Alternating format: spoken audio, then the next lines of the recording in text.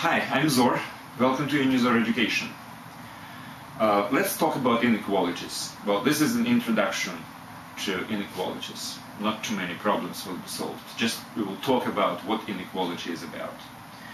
Well, um, let me just start with something relatively simple. x minus 5 greater than 0. This is an inequality. Let's just consider what actually we have written here. Well, on the left, we have certain function. The argument is x. On the right, we have certain constant. So basically, when we are talking about inequality, we are talking about some condition which we usually put on some function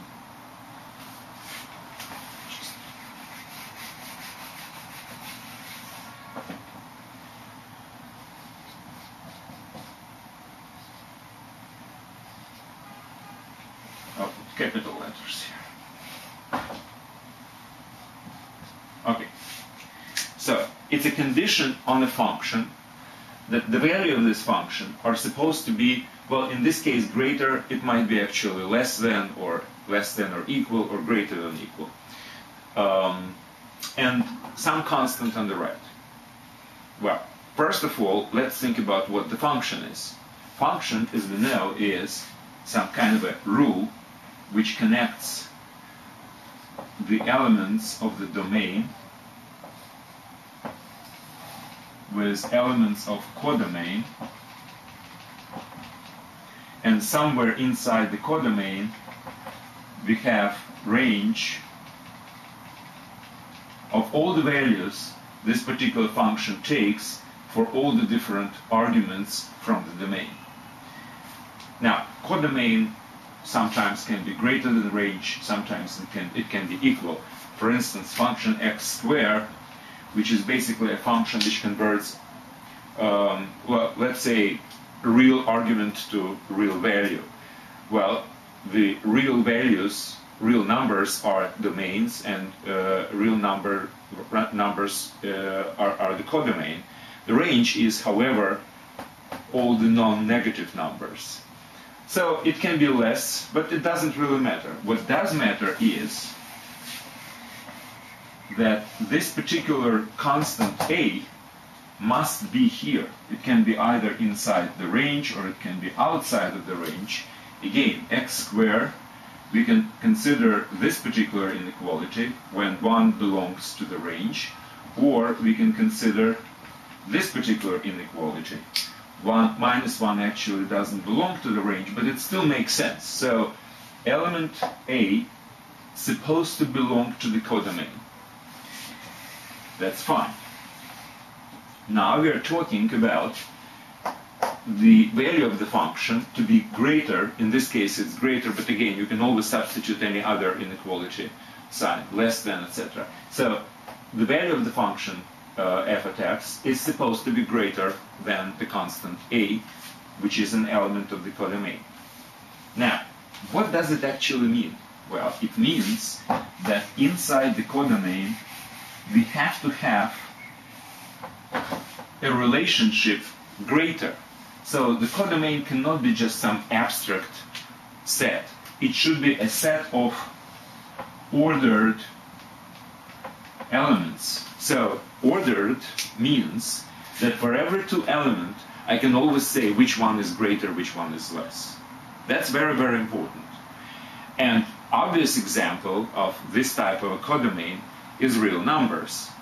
Among real numbers, we very easily establish, I mean, it's already established basically, um, this uh, order. We know which one is greater than, than, than which. So for two numbers, um, from uh, the set of real numbers, we can always say which one is greater. So if we will have a somewhere here, then we are interested in those values of the argument which are transformed into anything which is greater than a. So my direction of growth is this. So if this is a, we are interested in those values from from the domain which are reflected to this.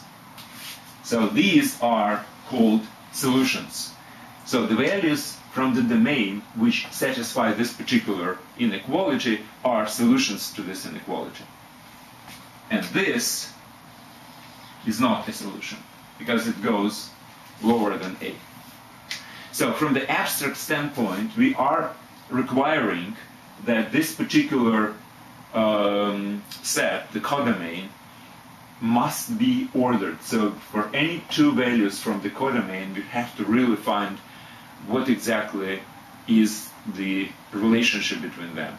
Which one is, is, is greater than, than another. Now, how about the domain? Should domain be ordered? Well, not necessarily. and here, which is unusual, but uh, that's actually true. Let's consider a, a completely different example of a function.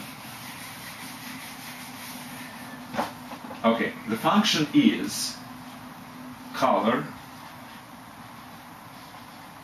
light, frequency. Now, you know that every color, red, blue, uh, yellow, has certain frequency of, of light expressed in some basically real number. Now, we can compare frequencies, but we cannot compare colors, which color is greater than another.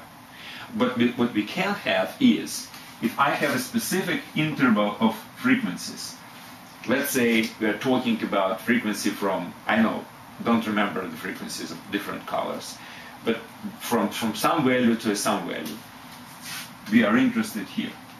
And it happens that red goes here. Red has a frequency which is in, in this interval. And let's say blue is outside of this. So what does it mean?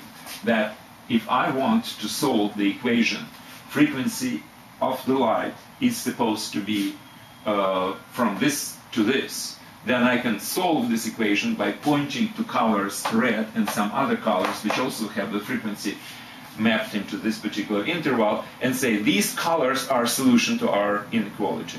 And this color, blue for instance, is not a solution. So I can basically, from um, maybe finite, if you wish, uh, set of different colors, I can always um, pick a subset which would correspond to a uh, to an inequality which I have uh, basically conditioned on the frequency of this light. So the codomain must be ordered. Domain, not necessarily. However, in mathematics, usually these type of functions are not really considered. and what we do consider is obviously, usually, let's put it this way, um, the function of real argument which has real values. And basically these are the functions we will, uh, that we will consider. Now, in this case, uh, the expression which is actually a, a, solution to our inequality also can be established in, in the terms of uh, equal, not equal, greater, less than, etc. Uh, for instance, solution to something like this x squared let's say greater than 4 solution to this are x less than minus 2 and x greater than 2 because everything which is less than minus 2 like minus 3 minus 4 etc being squared will give you correspondingly the value which is greater than 4 and everything greater than 2, like 3, 4, etc., will also, being squared, will give you the value of greater than 4. So if this is an equality, this is the solution to this inequality. All right, so we understand what inequality is. It's a condition on some function which has values in a set which is called called domain where we can establish some kind of a condition like greater than or less than, and some constant which is an element of that codomain. That's the, uh, that, that's the inequality. Now, the solution to this inequality is a set of all x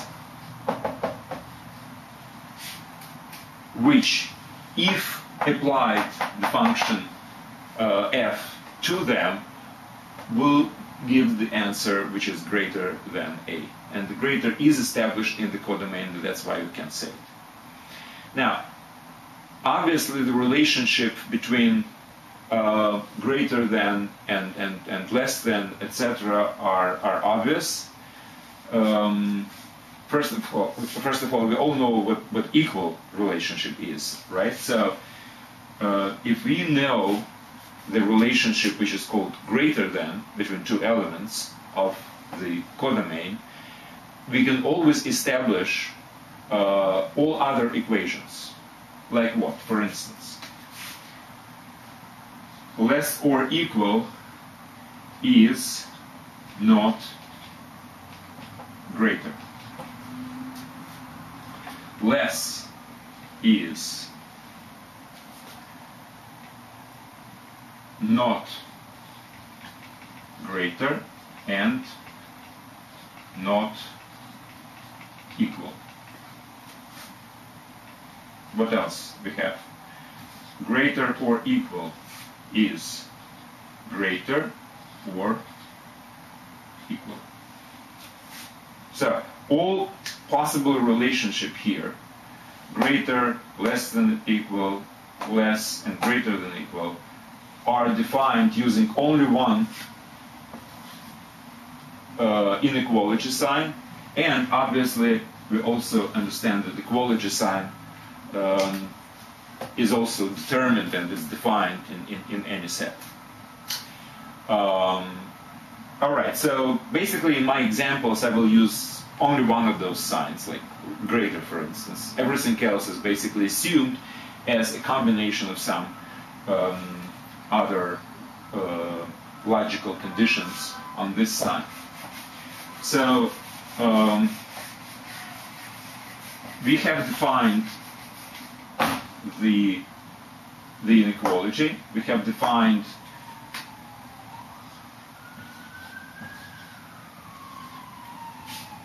a solution to this inequality. It's a set of such elements which are greater than A. Um, and all I would like to say is, well, basically, the, open question is how to solve equations, how to find these values of, of the argument which would result in this particular uh, condition on, on the value of the function.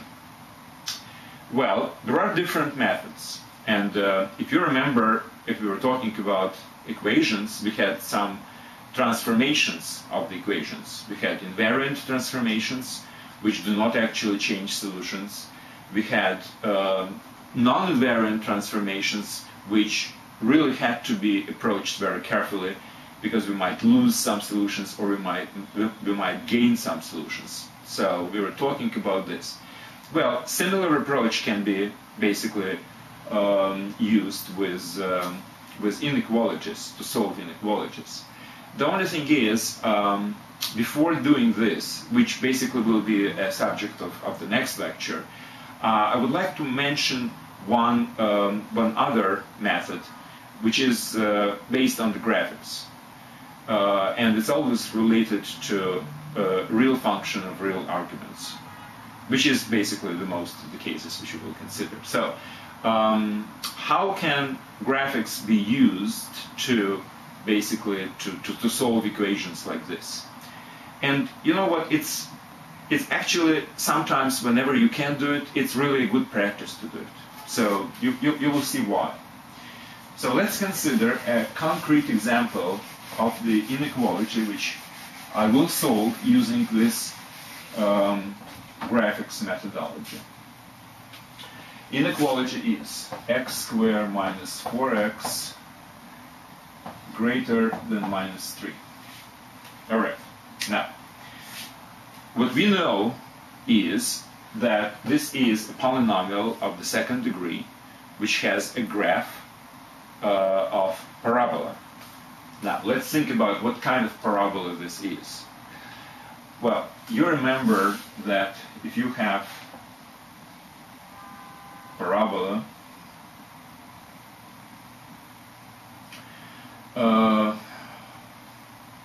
something like this. Right? Um, the roots of this parabola, so where the parabola is equal to zero, um, are the points where it intersects the x-axis, right? So if x is equal to this, y is equal to 0, and if x is equal to this, y is equal to 0. Now, looking at this, what are the roots of this? What are the solutions of the equation x squared minus 4x equals to 0? Well, obviously x times x minus 4, right, is equal to 0. So one is x equals to 0, another is x equals to 4, right? So let me write, let, let, let me draw this particular parabola. So wipe out my example and draw a parabola which is exactly corresponding to this one. So this is 4, this is 2, this is 1, this is 3. And my parabola in the middle point at 2 is equal to 2 times minus 2, which is minus 4, right?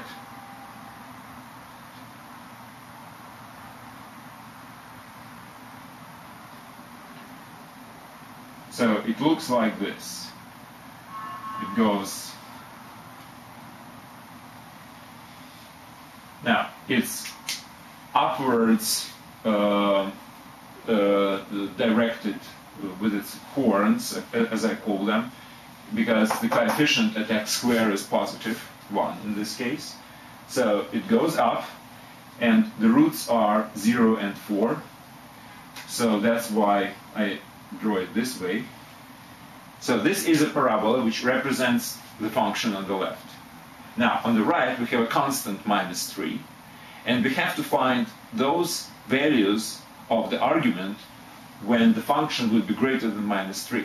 Well, let's draw a line y is equal to minus 3, which is here.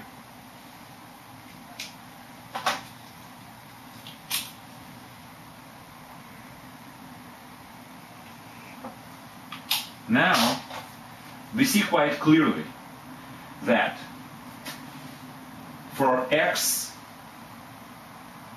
on this side, the parabola would be higher than minus 3, and x on this side would be higher than minus 3. Okay, what x are they? Well, I can basically draw this. Now, it looks like it's like 1 and 3. Well, let's do it exactly, not looks like. How to do it exactly? So my question is, when the parabola is exactly equal to minus 3, this is minus, by the way. So when the parabola is exactly equal to minus 3, at what x? Well, let's just solve the equation. x squared minus 4x equals to minus 3. Or x squared minus 4x plus 3 equals to 0. Uh, and the solutions are is uh, x is equal to 1 and x is equal to 3. Product is 3, sum is 4 with uh, minus sign it will be minus 4. So I'm just checking. And obviously I chose the example with easy solutions. Right. So yes, exactly. It actually 1 and 3 exactly projecting down to these points of intersection between this line y is equal to minus 3 and parabola. So, what are the solutions to our inequality? It's all x's which are here and all x's which are here.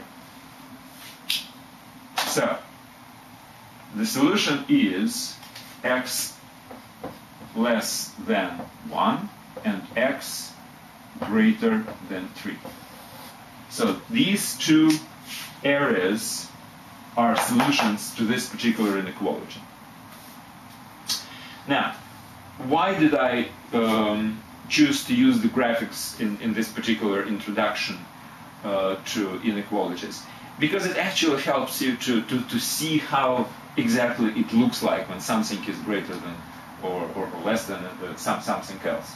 Graphical representation always helps to, to, to feel better how this is all done. And yes, obviously we can solve this particular inequality using certain uh, methodology which will be presented in the next uh, lecture, transformations of, uh, of inequality.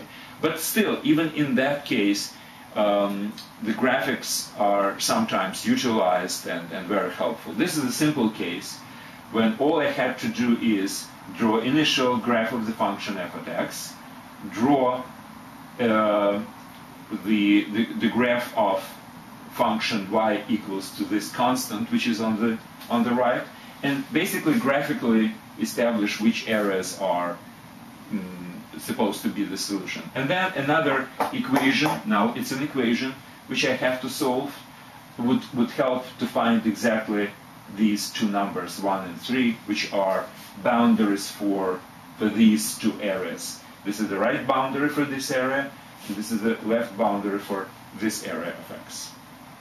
Well, that's it for introduction. Um, uh, as, as, I was mentioning before, next lecture will be about transformations of the um, of the inequalities.